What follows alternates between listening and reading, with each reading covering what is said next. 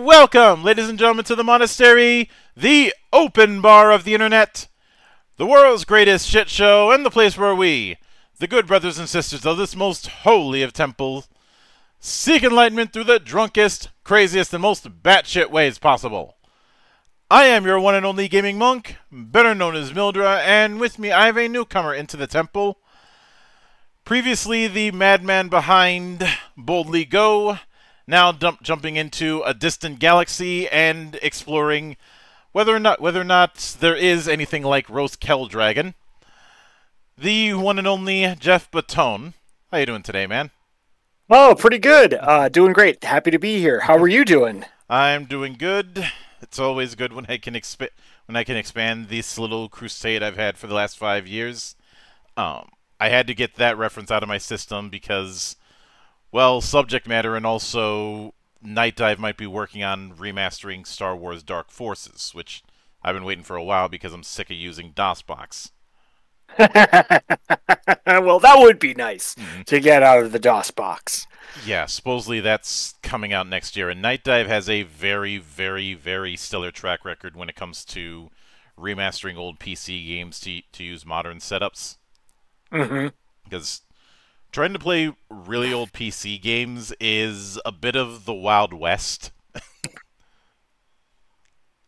yeah, no, it can be. I, I was was it ah, Tie Fighter. I went back and I'm like, oh my god, you used the entire keyboard for this wow, I I am not agile enough to play this game anymore.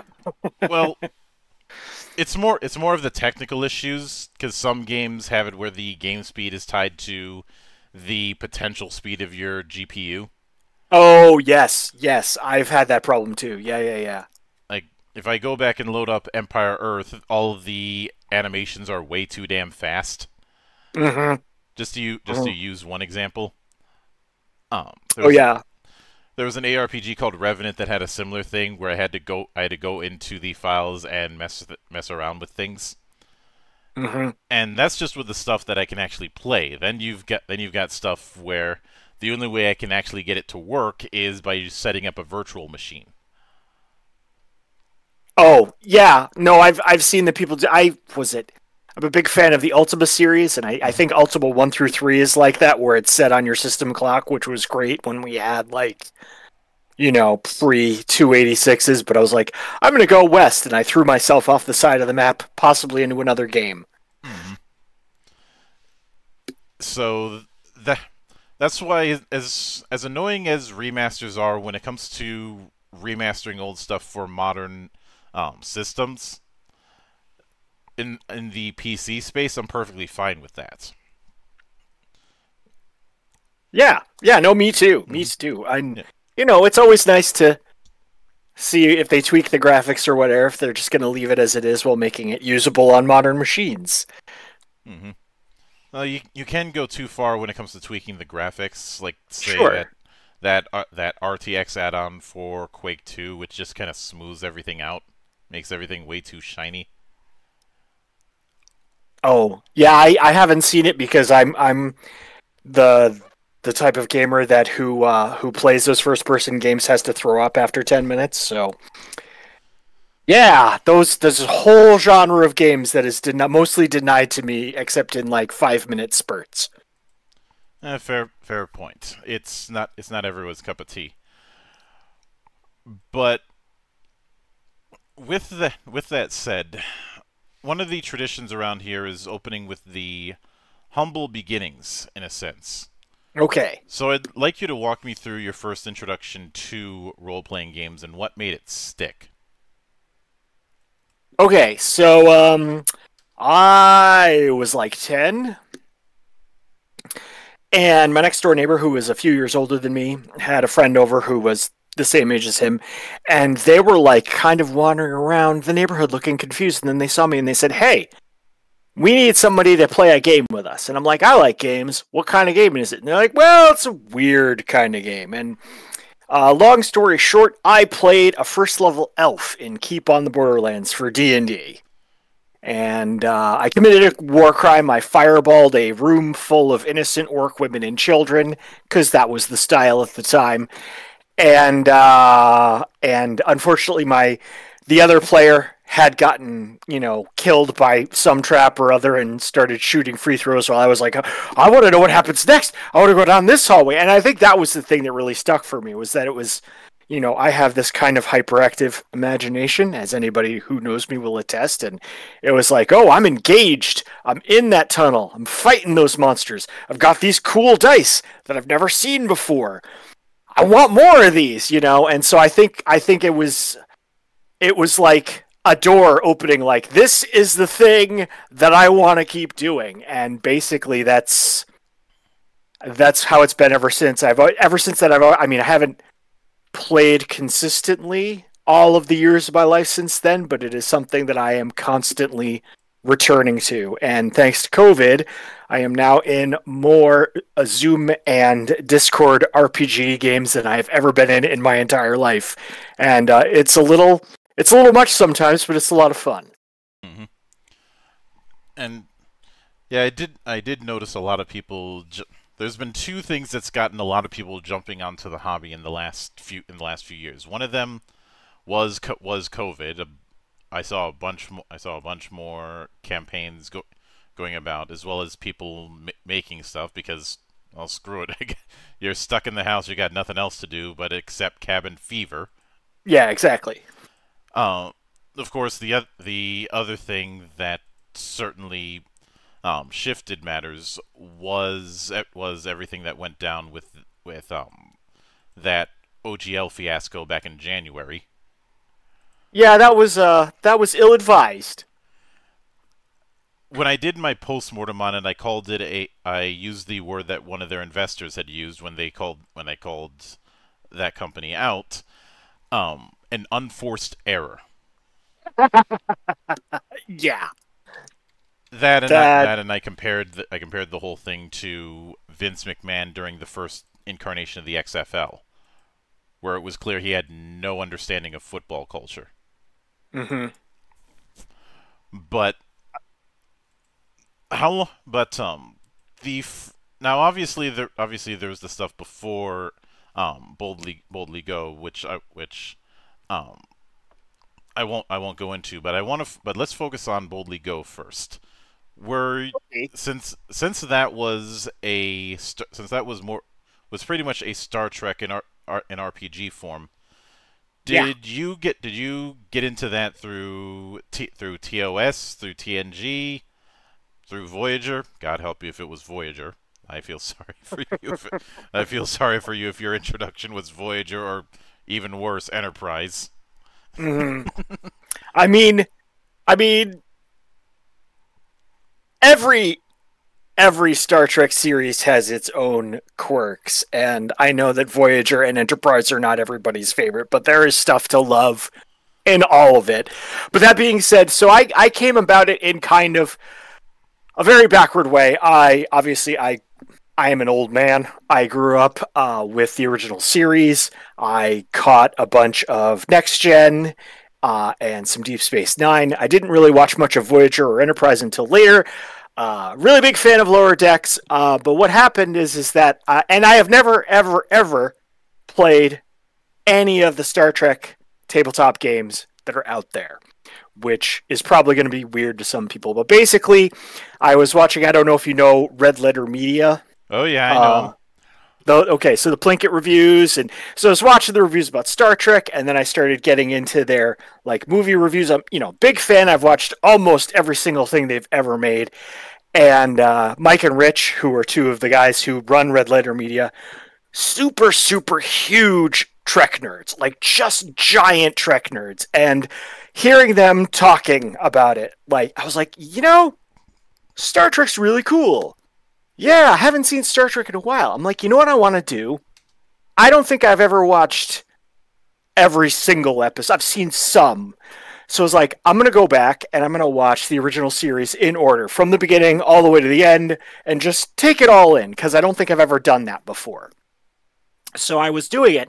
And like the sixth episode in, I was like, you know, somebody could make a game about this. And then I was like, uh, several somebody's have already made a game about this genius. And I was like, no, but I have an idea. And so and so that was the genesis of it. And it was the idea to make it because um a lot of the Star Trek games, certainly not all of them, uh, are very focused on like very discrete complicated numbers like i do this They're i have this amount in this science very crunchy. The ships have all these stats and i'm like no i want to do it where it's like a tv show where it's like kirk knows science some not as much as spock but he knows it.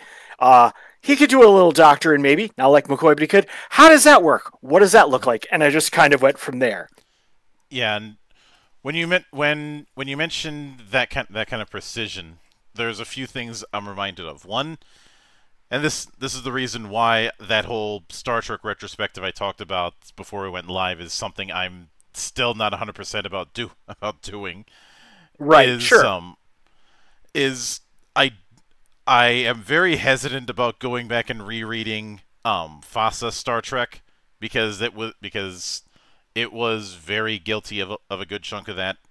Last Unicorn a little bit less so, and of course, but there is one, but there is one adjacent project that I'm probably I'd probably spend a good amount of time poking fun at because of how ridiculously complicated it was, and that was Starfleet battles. And oh yes to give you a bit of a refresher, I'm going to send you an image of a feder a Federation heavy cruiser sheet for Starfleet battles. Obviously, this one's a cleaned up recreation, but you, you'll get the point. oh yeah Look at oh, all. Oh yes, all the boxes. It's like it's like you it's like they were afraid you might actually have fun with the damn game. Oh my god, yeah, wow. Oh yeah, I remember seeing these back in the day. Oh my god. It's like I could understand that kind of thing if you were only using one ship, but Starfleet battles used well fleets with this level of detail. Yes. Yes, multiple ships, I think, f- per player. Mm-hmm. 10 hour tabletop battles, probably. This is the reason why whenever whenever someone tells me that a game that's come out recently is too complicated, I laugh because I'm like, you have no idea how easy you've got it now. Mm. And it's not like I'm it's not like I'm some old hat who was who was beta testing chainmail or something like that. No, no, I'm just I just have done a lot of research. Yeah, So I sure. sure, so I- sure. I, know how I so I know how how much more difficult things things were. Hell, hell, I ended up going down a, a rabbit hole once of researching the er, the early days of um, cable of cable television when there Mhm. was still th- when there was still that battle between closed circuit and ca- and cable regarding things like what would become pay per view. Um, and ju- and ev- even even just the just the earlier days of phone freaking, you know, the da- the days of Captain Crunch. Mm-hmm. The, it's it's always interesting seeing how how much more complicated things can um, get. And of course, if uh, of course if somebody wants to do the whole "it's too complicated," I will throw my copy of Hero System Sixth Edition at them. Yeah, yeah, Hero System is a lot. For sure. the the fa- the fact that the giant that the giant tome that's that's like that's over 500 pages long is just tackling character creation. Hmm Uh, and that's not even get that's not even getting into the the um the um act, the actual mechan- the actual mechanics of things. Like the character creation PDF PDF is 466 pages. So um, it's not 500 like I thought it was, but it's damn close. Yeah, yeah, you could easily round up and no one would no one would fault you for that. hmm But now with the now I'm guessing because you built it around a TV show, that's the reason why you built things around traits. And a distant galaxy is more or less using the same system, if I'm not mistaken. Uh, yeah, you're correct. It's uh, it is the same with a few tweaks and a few add-ons. Um, and it so origi- originally it was more it was more numbers based, uh, where it was like, oh, you've got science of three, and you've got this and that, da da da da. And I play tested that a few times, and I'm like, I don't, I don't really like this. like, this isn't doing what I want to do. And I remember I had played a game where we had used traits system. Uh, somebody was like, oh, it was Marvel superhero, but he had added this extra thing where it was like traits, and I was playing this basically a monster mutant, and I had the trait wants to be human, and he said this is a this is a negative trait. This is going to hurt you. Mm-hmm. It's going to be a problem. And so I was like, all right. So I went through the whole game saddled with that. I get to the end, and the bad guy is also a monster. And I was like, wait, I'm going to try talking him down. And if you will allow me, I want to do a cool thing, I think. I want to use my wants to be human trait uh, instead of as a negative, as a bonus to my role because I understand exactly how this guy feels. And yada da da da da da. And it worked out. And that was something that I had in my back pocket for years and years and years. And I was like, oh my God, actually, that's perfect. And the example that I always use when I'm ex- describing the trait system and how it works and how it activates is that scene that you often get where Bones is like, "My God, there's a plague on the planet. We've gotta, we gotta do something." And Spock raises an eyebrow and says, "Well, logically, Doctor, we can't save them all because he's a logical guy. That's his trait." And McCoy says, "No, God damn it." You cold blooded Vulcan freak, we've got to save everyone because he's the doctor and that's his trait. And that's you know, that's like you compare, you contrast, and that's where the role playing comes from. And it limits you in some ways, and it gives you surprising advantages in other ways. And and uh, that's when I junked the previous system and plugged that in, and the whole thing just started going. So yeah, it was really a way to. I I, I mean, all role playing games can have as much or as little role playing as you want, but I wanted I wanted a, a, way to make it take more center stage and feel like you were in an episode of the show. So that's where I was going with it. And ideally, it works. We'll see. now, that bring that brings me to the the um, core mechanic, which yeah, in your case is a D, is a D six based um, system. Mm-hmm.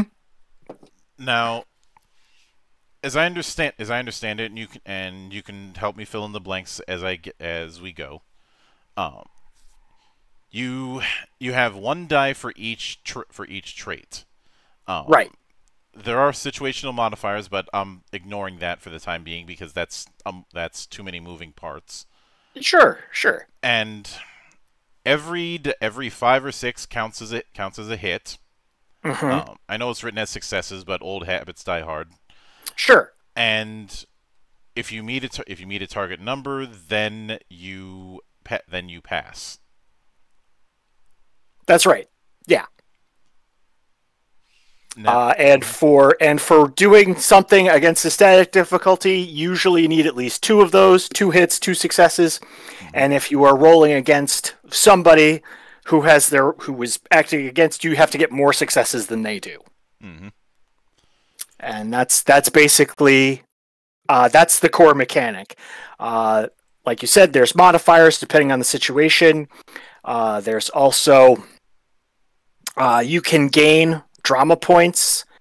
And one of the things that I, I like about the system that I hit on pretty early is that one of the ways that you gain drama points is is by failing. So even if you don't get this roll, you might get the next one or the one after that and uh, so you sort of you it's like again it's like the show where it's like in the first half hour we don't know what the problem is. We're we're not sure how to deal with it. We're trying things that don't work. And then in the second half hour because we've built up all of our drama points everything starts exceeding and and we end on a high note. And uh, and you also when you spend drama points they become experience points that you use to improve your character between episodes. Mm-hmm but yeah, that's that's basically it. It's uh, it's pretty simple. People usually get it right away, and Uh, a lot of people seem to like it, even though some people are like, "This is it's hard. You're only going to get a thirty-three percent chance to get a success at a time." Like, I know. Work together. Get more dice. yeah. Uh, and I think that brings that brings up an interesting thing where a lot of folks, and I, there's cer- there are certain games that have certainly contributed to this, of peop- of people building the um, character or, or the like with the idea of building up a powerful character instead Yeah. of being instead of being part of a bigger whole. There are Mhm. some more recent games that have attempted to address this, but it is it is going to be a long, slow process, which I'm very much I'm very much aware of. hmm But Yeah. I do like the fact that tra- that traits are a case of you've either got it or you don't, because Mhm. something that can happen with skill points is you can end up with a sunk cost issue. Because look look at the let's look let's look at the cast just f- whether whether we want to use the cast of um T, of TOS or or the or the cast of um original trilogy Star Wars Sure. they all ha- the majority of the majority of characters have a wide variety of skills that they that they can call upon, but it's not like there's a defined area of skill of skills that they have, which is why trying to adapt them in games that build those kind of things, they end up having a boatload of ski- of skills. And Yeah. With with the whole skill with the way a lot of games utilize skill points for one there's the issue of how do you how do you differentiate between um three points in computing versus four points narratively speaking Mhm. but also once you've started that investment the there you're a bit disincentivized to learn new skills because those skills have to play catch up Yeah, no, that's that's true. That's true. And then you get the games where, I mean, D and D five E is obviously the go to where it's like, well, I picked this class, and this class gives me these abilities, and the more I get in this class, the more I get in these abilities, and and so it's like, so I so either I can't change lanes, or like you said, I am incentivized not to change lanes, uh, because then I'm a weaker version of something that somebody already is, and how useful is that, and blah blah blah blah blah. Mm-hmm. And the I mean you I mean in that kind of situation you could multi-class, but that provides its Sure. own problems. Right, right. and the only t- the only time D&D has ever done multi-classing in a in a way that didn't drive me insane, well, more insane, let me clarify. was the edition that everybody tells me I'm supposed to hate, but I don't because the checks didn't clear. That being that being 4th edition. Uh yeah, no, no. Fourth edition, uh, as much flack as it gets, had a lot of interesting things going for it, and that was one of them. Yeah, I've I've ta- I've tackled some of the flack that people that people give, especially the whole oh, the, especially the whole two MMO like, which always seems to come from people who have no idea how MMO design works because they never answer me when I say, "Okay, is it is it sandbox or theme park?" Right. Um, and I th- and because of the fact that things are built on traits, you end up in something like a distant galaxy. Um, you end up you end up addressing and solving one other problem. oh hey. And th- and um, this is ju- this is just something I've I've noticed just from just from my own experiences. So I don't mean to I don't mean to get off on, on a bit on a bit of a tangent, but believe me, there I am going somewhere with this. Now, Okay. you All right. have I'll follow you wherever you're going. you have the source, which I do have the source. for all intents and purposes is the is the is not far removed from channeling and using the force in st- in Star Wars. You even have your own disciplines for it. Yeah, absolutely. In did you ever play Star Wars Galaxies? Uh which one was Star Wars Galaxies? That was the first MMO attempt. I read about it, but I did not play it. No, I played the Old Republic, and that was it. So, with and it, and actually, the Old Republic pr- provides a good thing because it, because you have to spend a good amount of time in the in the first one before you even start getting Jedi stuff. Yeah, But with Star Wars Galaxies, that was a sandbox style, where a lot of the fun came was very player was very player generated when it came to the various roles. Um, Eve Mhm. Online has a has a similar attitude, mm-hmm, mm-hmm. and its lead designer Raph Koster was adamant about not putting Jedi in the game. that I remember. I remember it was a big deal that there were no Jedi starting out. The reason for that, according to him, was Jedi would become an alpha class, where Mhm. everybody would try, er, because of the cool factor that the movies produced when it came to Jedi, everybody would try and chase that. And he felt that if everybody's chasing that, they're not doing any of the other jobs, and the whole thing's gonna tumble in on itself when he mm-hmm. was forced to put it in, he was like, "All right, I'll make. All right, you can do it, but you got to earn it because you have to be force sensitive, which is a die roll, and you have to find holocrons, which eventually people started mapping out where the spawn locations for holocrons were. So that lot of good that did. right. And then NGE happened, where they made it where you could just be a Jedi right out of the gate, and that was a contributing factor to the game getting killed. Now, bringing this to this to the source in um in what I'm seeing with the distant galaxy, because of the fact that ev- that everything ties into traits, that idea of having to be dedicated in the in the same sense to to treating the Jedi thing as as a sole focus is not present or possible. uh, no, not really. Not written. Although give although given the way um given the way a lot of it works, I am one thing I am curious about is how is how someone could utilize the trait system to do the equivalent of the lightsaber combat styles. Okay. Uh so so I I will definitely tell you that uh if you're talking about like form 1 or form 3 or whatever, Yeah. I don't know that a distant galaxy is that granular uh to do that. Um uh but you can you can use the source and your traits to make yourself fight better uh and do cool gymnastics stuff uh, which is, I, I, which I guess is more like the the pure movie experience before they codified like this is Vaapad and this is whatever the other ones are. That Vaapad's the only one I remember for some reason. Uh, Mace Windu, I guess. Um, but yeah, like there there is there is a way to, and I mean the thing about the the the trait system. Just sort of backfilling a little bit here so that people kind of understand where I'm coming from with it is that you get these traits and they say certain things like you're logical or you're honorable or you're athletic or whatever.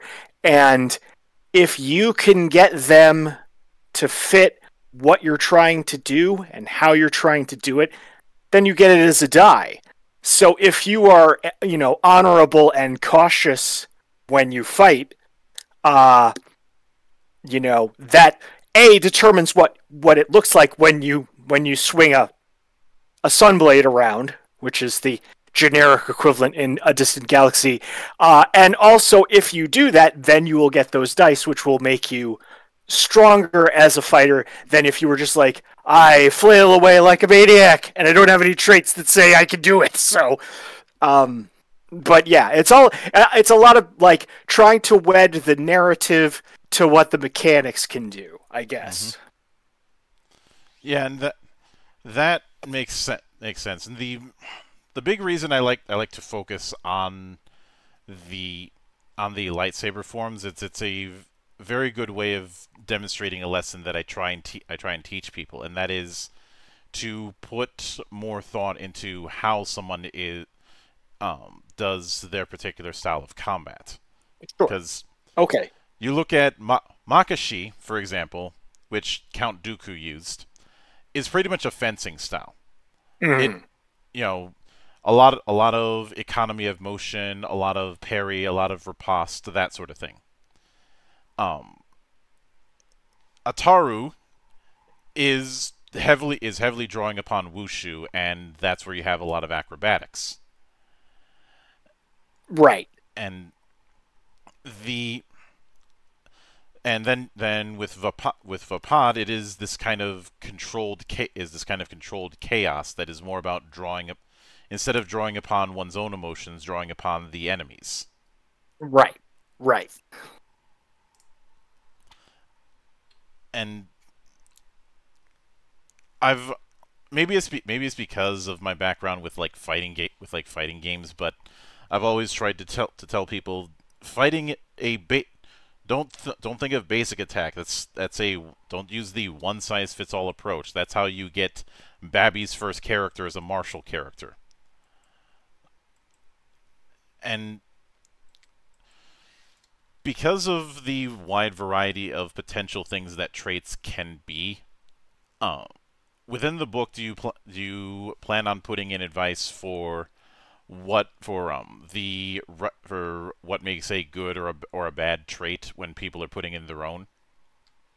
Uh, yes and no. Uh, so, uh, it, so I have to actually then explain what a good and a bad trait is in the system. So traits I describe are mostly positive Yeah. or mostly negative.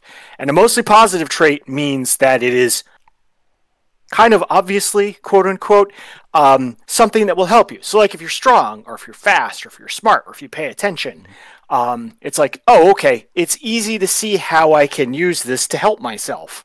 And so you call upon it, you get dice, you roll. Uh, some traits are negative traits. So you're like suspicious, or you're stubborn, or whatever. And what happens then is that when you when you go into a challenge where you roll dice, you say, okay. And the example I always give is you and your buddy, you get captured, you're put in the cell. He says to you, All right, here's the deal. I'm going to pretend I got the stomach problem. You're going to go call the guard. You're going to tell him I'm sick. When they open the door, we're going to jump him. And you're like, Dude, got it. Okay, solid. You run over to the door. And as you start talking, you realize my character has the honesty trait. So I am I am a bad liar. So I say, Well, I'm doing all of this, da da da da da, but I'm honest and that makes the challenge a little bit harder, but also gives you more drama points that you can spend later. Mhm. And then you roll and you see what happens. But it's not like it's not like one side of the fence or the other. Like if you are trying to get a suspicious person, a suspicious person to, to trust you to talk to you, you say, "Well, I'm honest," and if they realize that I'm honest, they're more likely to trust me. I get a die Hmm. kind of a thing. And so there's there's a discussion of like you know, here's here's kind of some examples and here's the gray line in between and hmm. people have said to me, you know, at the table like do I have to take negative traits? And I said, "No, you don't, but there may be a time when the trait that you think is a good thing is a bad thing and vice versa."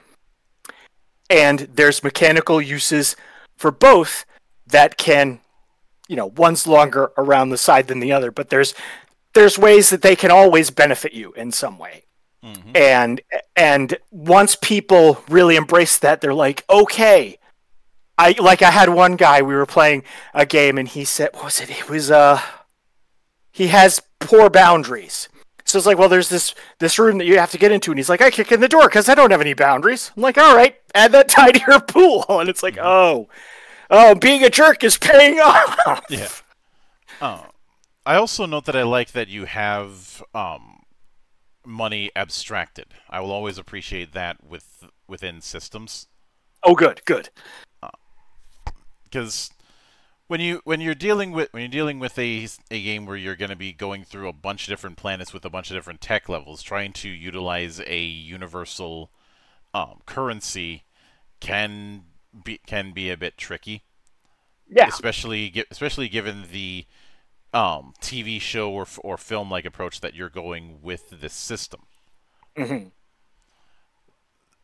which is which I'd imagine is the reason why you have you kind of have a um, a rule of twelve when it comes to how um, item acquisition works. Yeah, pretty much. Yeah. Uh, I mean, part part of it is that like, uh, I mean, buying things has never been my favorite part of gaming. going going shopping and buy. I mean, sometimes it's fine, but most of the time it's just like, yeah, you've got new armor. I don't care how much it costs. You just have it. It's fine. Um, and I lucked out because Boldly Go was my first game, and that one is the post scarcity economy where there's no money or whatever. So it's like you've got a uniform and a ray gun and a communicator and go to town. Like stuff is not important in that game, really. And then I got to this, which is set in like a more capitalistic kind of I mean, depending on the planet, but usually it's like you need money to buy the parts for your engine, and if you don't have the money, then you've got to have a slave kid race for you so you can get the part. Da da da da da da da. Um, but I just I wanted to do it more abstract because I'm like I don't because the other way that I was doing it, and somebody was like, "You don't have to do it this way if you don't want to," was the whole like, "Well, how much is a credit worth? And what if you're on a planet where the economy sucks? And what if you have to barter?" And I was like, "Nope, nope, nope. Just throw it all out. You know, you start with some stuff. You could buy other stuff, maybe. It depends. Who cares?" Yeah, which it which is is certainly a is certainly a more efficient approach because um, you go too far down that rabbit hole and th- and then you're starting to debate about how about how you're going to handle um, in-universe economy and it becomes a cry for help. Yeah, yeah, and I am not an economist, and it would not look realistic anyway. So it's just like, ah, no, no, I have better things to do with my time than this. Also, if you're if you're wanting realism, why why are you playing a game like this? Right, that's also fair. Maybe maybe you'd be better served with some with something like Star Citizen. okay, that's a bit okay. That's a bit harsh, but you get Sure. my point. Yes, yes. But now, one of the things I I'd also I'd also note I'd also um, made note of since is the is the fact that you are you are utilizing a a fair a fairly straightforward wound system. hmm Um, you know what, and it's it's one where it's more it's more or less shared. There's not going to be a um, species that's going that's always that's going to be able to take more hits because we're dealing with um, bl- we're dealing with blaster we're dealing with blasters we're dealing with sun swords and we're dealing with we're dealing with things that are going to very easily put you in the dirt if you're not prepared. Right.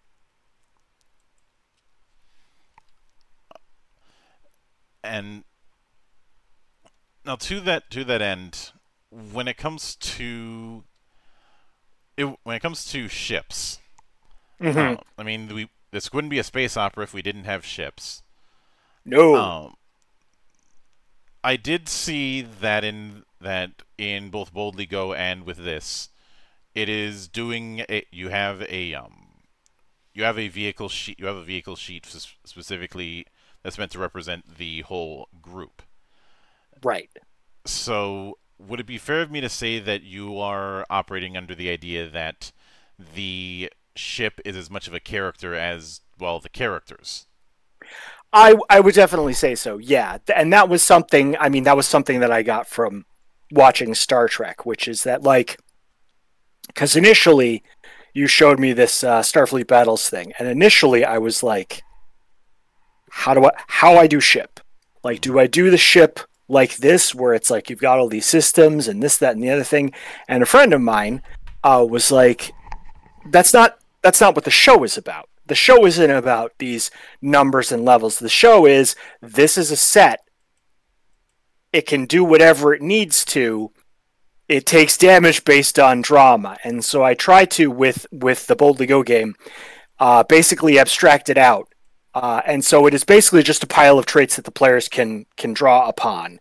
So it's like if you have like a really good Xeno linguistics library, then whenever that comes up, you use it as a trait if you've got access to the ship. And what I found was when I said to the players, okay, the very first thing you're going to do before you do anything, before you make characters, anything else is you're going to tell me and one another what kind of a ship you want to have. And you're going to pick traits for that ship.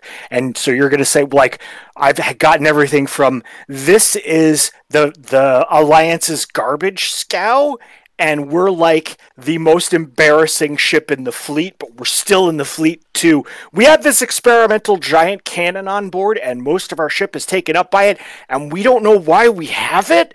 And and that basically like you said the ship becomes a character Mm. What's the deal with this? How does it work? How do we use it to solve our problems? How can we use its traits to traits to best supplement ourselves and get what we need to do done? And I found that it was a great way actually to pull everybody together because you start out and you say, "Okay, you're on the bridge. Who are you?" I don't know. Okay, you're on the bridge of this sh- giant ship that that turns out to be a huge gun uh, I guess I'm the science officer and I'm researching why we have this thing. And it's like, great, that's plot, you know? And, and so in a, in, um, in a distant galaxy, I do kind of the same thing where everybody starts out with a personal vehicle that's very generic. It's like you have this ship and it's kind of crappy and whatever, don't worry about it. Or you can say, well, I'm going to give up my ship so that I can give another player's ship some benefit, like make it bigger, make it hold more cargo, or more guns, or better shields, or interesting stuff. And so, like, one of the games I ran in a con had nine players, and there was there was like, okay, we're cashing in all of our chips and making this giant ship that's actually reasonably okay, and it's got all these mods and stuff on it. And they're talking about like, yeah, and if you go to my quarters, this, that, and the other thing, and then one person's like, I don't, I don't want to do that. I'm going to keep my ship, my own personal little rinky dinky ship, and it's a speeder bike, and I put it in the hold, and that's mine, and none of y'all can touch it. And they were like, cool. There's there's a few shows I can think of when it comes to this whole ship as character thing that, pr- that mm-hmm. provide a good of a bit of frame of reference. Um, one of them is, and what I'd say all three of the ones I have in mind are going to be pretty obvious. One of them is yeah. is of course um, Firefly. Oh yeah, yeah, yeah, yeah. I mean, every every time every time you have the the Serenity itself, a Firefly class ship, every time mm-hmm. it's seen as people are like, wait, they still make those? Like it's right. It's viewed as this this rinky-dink relic. Right.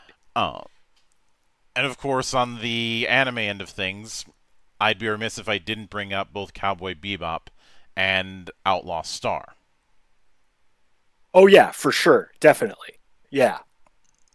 I mean, with Cowboy Bebop, the Bebop itself is a is a fishing ship, um, mm-hmm. and Sp- Spike, Jet, and Faye each have their own per- each have their own personal ships. Whether it be Spike with the Swordfish Two, Faye with the or Faye with the Red Tail, which does which does not believe in the concept of friendly fire, just fire. right. And of course, with Outlaw Star, you have a whole you have a whole lot of plot because of all the mysteries that the um, Outlaw Star itself has as a ship.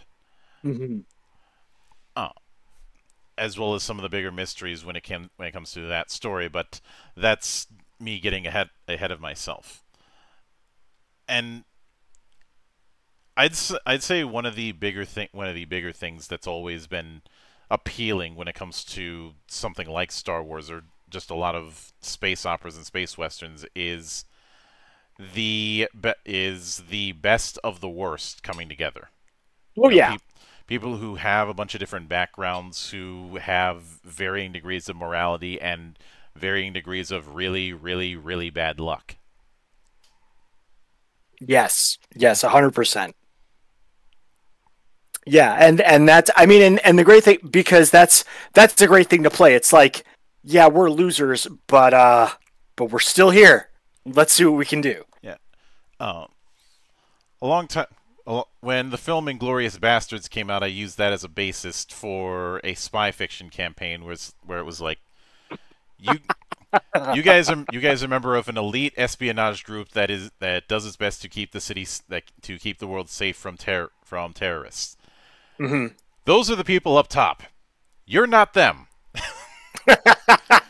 you are the Right. outcasts. You are the Yeah. you are the misfits. The guys who, for whatever reason, are good are good at your job, but you ha- but there are certain um, traits that are that ma- that deem you labeled as troublemakers.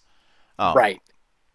I'd also since a, since a few people there were shooter fans, I'd also referenced um, Battlefield Bad Company because it kind of has the same vibe. They're they're Mhm. meant to be Yeah. the, in that with that crew. They're meant to be the expendable guys in front in front of the advanced special forces. Exactly. Yeah. When the special forces is too valuable to send on something, they send you guys. Right. Yeah. Just soak up the bullets for us, boys. You're doing great. Yeah, and there was also the trailer for for the project called Overstrike that served as ins- inspiration, which had that whole thing of the misfits. Um, hmm you know the it's it describes one of the characters in in that teaser as oh he's he's he's he's calm and collected, almost like a Buddhist monk. Then it cuts to the actual footage of how he operates, and he's go- and he's full berserk. Right.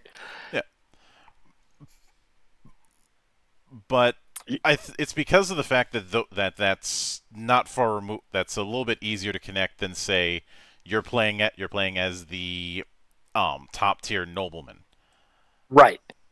Not that you can't. Not that you can't. I mean, one of the sa- from what I'm seeing, one of the sample characters is a, is a noble. Just one. Just um. One one with his own little problems. Oh yeah.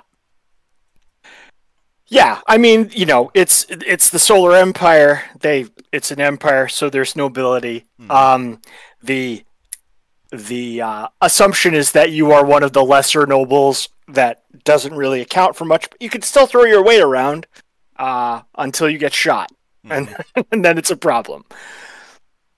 I mean, I've I've always I've I've done I've done my fair share of characters that are more of the that are more the white collar crime. The last the last one I did in these kind of games was his whole thing was being the was being the um the one of the world's biggest con men, Aha! Yes. but not the the kind of the kind of person who who is able to who is able to charm some, somebody into doing what they want, or in, s in Mhm. some cases, um, he's not gonna he's not gonna stick up and rob you. He's gonna talk. He's going to talk you into to into you giving your wallet to him with a smile. right. Right. He's gonna make you think it was your idea. Yeah. Of course, because because of that, it created the drama of anytime he had an idea, everybody looks at him side eyes because they don't know if he's being legit or if he's trying to pull something. Right. Exactly. Which Yeah. Yeah. he because I and obviously those kind of things are are building on what came before because everybody likes a good heist story. Hmm and I know I know some will argue solo but as as far as I'm concerned we haven't had a true um Ocean's 11 style hi- style heist story in in um in Star Wars or anything or anything like that Yeah, I'm trying to think. Like there's been there's definitely been aspects of of that kind of story in a bunch of stuff in Star Wars, but never like the this is how we're going to bust in and get the stuff, you know, kind of thing, which is too bad because that's I mean, with the kind of characters you get, it really lends itself to that if you really wanted to do that. Yeah, and I've and obviously when I say Ocean's 11 I'm referring to the remake that we got that we got in t- the early 2000s, not the original Rat Pack. Mm-hmm. But given given that you have the um the the Empire, would it be f- the vibe that I'm getting is that you is that you're not trying to do the Empire versus Republic thing. The Empire is just the is just a major power within the galaxy. Yeah, yeah. So um, there was a couple of things that I was because I'm like I want to do Star Wars, but I don't want to do that one story because I think there's a lot more stories that you can do. And I was like, let I'm gonna have that be official Star Wars, you know. And I'm like, so there's an empire, and it's not good and it's not bad. It's just a thing. Mm-hmm. Um, and I I drew a lot of inspiration from like Dune and Foundation and stuff like that, where it's not like you know there's the evil emperor. There's not the black and white morality necessarily. Um, it's just this is this is the thing that kind of governs the galaxy, and it's fallen apart. And uh, you, you know that's the backdrop for you to make your own way in the universe, and you can certainly interact with the I guess the core worlds of the empire and do stuff like that. But my idea is that it's sort of set on the fringes where like you know desperate people live doing desperate things, trying to make a buck and stay alive. So it's a lot more, I guess, maybe maybe like Mando inspired kind of where it's you know the the not super gritty because I'm not a super gritty person, but the gritty space western more than the the Titanic battle of of good versus evil. Yeah, I can I can get behind I can certainly get behind that. Now, cool. with with that in mind, uh, obvi- obviously there's a lot of things that can happen in space, and from from what I understand, you do plan on putting in a generator of sorts that is going to that is going to handle um, ph different phenomena. Uh, I mean, only only in regards to like plots for mm -hmm adventures. Yeah, that's kind. That's kind of what I meant. Essentially, a, sto- a story seed. Um, yeah, thing. yeah, yeah. Yeah, there is a, there is a story. You know, if you if you come up with a cool story on your own, that's totally fine, and we don't mind. And we, I mean me, but um, yeah, there's a way that you can roll like here's an interesting thing that's happening and here's where it's happening and here's some of the people that are involved and you can use that as a springboard to create an adventure, or you can look at it, and I do this too, where I roll it. I'm like, eh, that doesn't make any sense, but I like these two things. What can I do with these two things? You know. Mm-hmm. And I know that's not for everybody because not everybody can just take stuff and easily like spit it into a whole story. Uh, but for the people who uh, who can, it's there. And for the people who have more trouble with that, I'm trying to write adventures. Mm-hmm. so, so hopefully there'll be a little bit for everyone. And one of the things that I try to do is I try to make it as uh, genre appropriate as possible. Like uh, if you've, because it sounds like you've read it, yeah. the uh, Boldly Go uh, episode generator. Mm-hmm. All of the plot points are from different original series episodes. So if you roll on that, you're going to start to see stuff that looks a lot like, you know, hey, that's like Space Seed. Hey, that's like Devil in the Dark. That's that's cool, and that's why. mm-hmm. That's that certainly makes sense. And yeah, there there's there's there's plenty of, there's plenty of um, things th- things through the TV through the TV shows and the like. There's there is such there is such a wealth of mater- of material that already is there is there yeah. that um it wouldn't take too much effort to to take that kind of thing and adapt it into whatever you have planned. Right, exactly. Uh, I know that there's a few YouTube ch- channels that have been have been going through t- have been going through episodes of Star Trek and saying this is what you could take from for your campaign. Mm-hmm. Um, I almost want to challenge one of them to tr to try and do that with the bad episodes of T of TNG, like Code of Honor. Like, okay, oh. here's here's the worst episode of of early TNG. What can you take from this? Yeah, how how how are we gonna do this? Mm-hmm.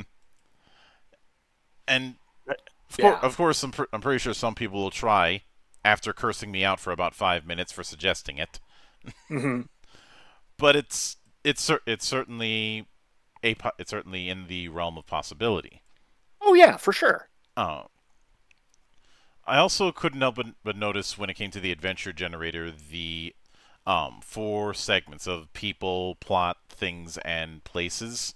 Yeah. when you're writing when you're writing adventures proper because I ha- I hadn't looked at the at the adve- at the adventure PDF um from from to boldly go I just had the I just have the core book Uh huh. Um, sure. is it do you use that as your basis for how you build adventures those four Uh, elements Sometimes, yes. Uh, so, um, for Boldly Go, I I published something called the Coronavirus Adventures, which were what it sounds like adventures that I ran during lockdown. Mhm. And some of them were like, I I thunk up this plot whole cloth. Like this is something that I want to do. But for most of them, uh, they were like, people were like, "Can you run us through a Boldly Go game? That would be cool. We're bored." And I'm like, "Okay, yeah, let me roll something." And so, in the front of each uh, episode guide, I have these are Geoff's rolls on those charts in the back of the book. So you can see, like, this is what I got, and the adventure is this was my thought processes making these up. And obviously, the adventures that I ran are probably they're mostly similar, but they're a little different because you know hindsight is twenty twenty, and I got to sense the sense of you know how do I refine this? How do I you know tweak this thing that I did that I didn't think worked hundred percent the first go around? But yeah, you can you can totally see like this is what I did. This is what I rolled. Uh, so yeah, I I am but a mortal man like you, and this is how I make adventures. Um, which I think is is good because it sort of it sort of in a way shows like from these four things that I rolled, I created this, uh, you know, four, eight, you know, twelve hour adventure session, and it Mhm. works okay. But I think it helps, uh, you know, with with properties like Star Wars and Star Trek because there's already you can already draw from the zeitgeist. There's so many stories and so many plots, and you can look at something and say, "That's a Star Trek story," and that was what really helped me make the generators. So you sit down and you're like, "Okay, the reason I feel like I'm in a Star Trek or Star Wars story when I'm playing this is because Geoff culled it from." Watching Rebels or watching Enterprise or whatever. hmm And I can, I will certainly look forward to how that how that goes down. Now, what are you shooting for as far as a page count in total? Uh, so uh, let's see about that. That's a good question. I think we're looking for a distant galaxy. It's gonna be, um, I think it's uh 80, 80 to 90 pages, something like that, and that's everything. Uh, it's it's the full rules. It's a little bit of the background. Not obviously not nothing comprehensive, but enough to give you a sense for like what's going on in there. Um, uh, it's all the character creation rules, all the equipment rules, all the rules for ships. Um, there's an NPC section which tells you how to make your own. Um, there's quick rules for NPCs rolling if you're if you don't want to fiddle around with giving each and every NPC you have traits because that takes a lot of time. Mhm. Um, there is a sample adventure called A Quick Delivery where it starts out you are you are on a space station and you are out of gas. And you are like I guess we'll have to get a real job now. And then somebody says actually if you could just deliver this package for me I will totally pay for fuel for you. And you're like okay that sounds cool. And then adventure! And there's also the um uh, the uh, the thing we talked about, the random uh, adventure generator. Uh, there's uh, a phoneme generator. If you if you have like me, sometimes have trouble coming up with names of things, you can roll on the chart until you get something that sounds like a word. So basically, everything you need to play, including a sample ship uh, and ten sample characters. Uh, complete characters, complete ship. You don't have to roll anything. You don't have to really read too much. You're just like, I pick this one. I pick the crabby robot, and we're going. hmm There is And one. at- there is one. Sh- there is one series I think could um provide pl- could provide plenty of inspiration that might be a bit unorthodox to some. okay. Red Dwarf. Oh yeah. Oh god, I love Red Dwarf. Yeah. You mentioned for Krabby sure. Android, and that's the first thing that came to mind. Yes. Yes, no, you could definitely roll up some pretty good Red Dwarf characters with this if you wanted to. That's for sure. Just don't put ketchup on lobster. No, no, God, no. That's great. That's good stuff. Yes, mm-hmm. yes, definitely Red Dwarf. Mm-hmm. And I have a weird enough sense of humor that that would totally work. Oh, it would. It wouldn't be the first. It wouldn't be the first time that I've referenced that since when I had the guy behind Weird Space on, which has the subtitle of Sci-Fi Bollocks, so you can you can kind of figure out what he was drawing from. Yeah, that's yeah, that's definitely an homage right there for mm-hmm. sure. And I've gone on record as, as saying one of my fa- one of my favorite characters in science fiction is Cat. Oh, he's so good. Even if even Danny if John Jules is great. Even if he takes whining to an art form. He does. I think especially because Ah, uh, yeah, yeah. Solid show. Mm-hmm. Very fun. But I will I, I will certainly be looking forward to seeing how a dis- how um, things shake out with a distant galaxy um ev- and if um if no if nobody else beats me to it when it comes to the when it comes to the lightsaber forms, I'll just do it myself because okay, it's not it's not like I haven't done that already with trying to put a bunch of wuxia stuff into into into other tabletop games. Yeah, that sounds awesome. I would love to see it if you come up with something. Yeah. But with that said, I do want to sincerely thank you for taking the time out of your schedule to come all the way to my temple and enjoy the madness that happens around here. Oh, and it's my pleasure. Anytime you see fit to return, the door is always open. As I often say around here, drinking is not mandatory, but it is encouraged. and of course, a sincere thanks goes out to everyone who took the time out of their schedule to come onto the show and enjoy the madness. And there will be plenty more where that came from, as there always is here on the open bar of the internet. But until then, on behalf of the good brothers present and not present, my name is Mildra. I am your gaming monk. Stay fucking frosty, everybody.